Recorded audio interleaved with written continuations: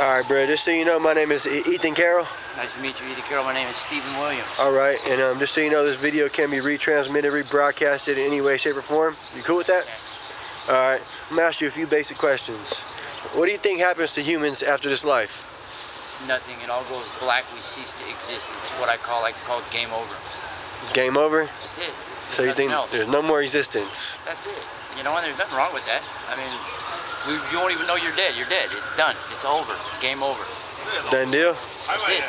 So, like, you don't believe in heaven or hell? No. So you don't think that everyone that that, that sin is gonna just gonna be No, I is gonna be going to hell? People are gonna burn in a lake of fire for This eternity. is hell. We just don't know it. we don't know it. Maybe so, but I just think that uh, This. We're going to heaven.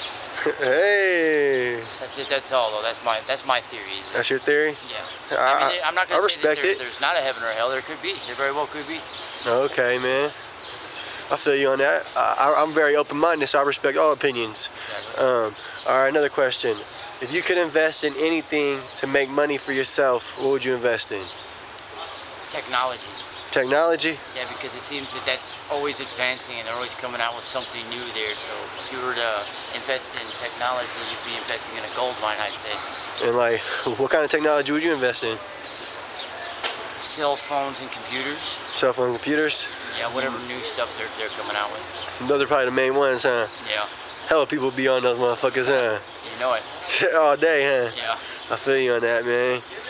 Shit, man. If you could be remembered for any one accomplishment, what would you be remembered for? I can remember for any one accomplishment. What I'd be remembered for. If the whole world would know your name, what would you be known for? Just being a nice guy. Being a nice guy? You know, doing to others as uh, I would want done to me. I feel like that's very respectable. All right, I'm gonna ask you one more question. All right. All right, and then we're done. If you could describe yourself in three words, what would you describe yourself as? Three words. Three words. Or five, you, you choose.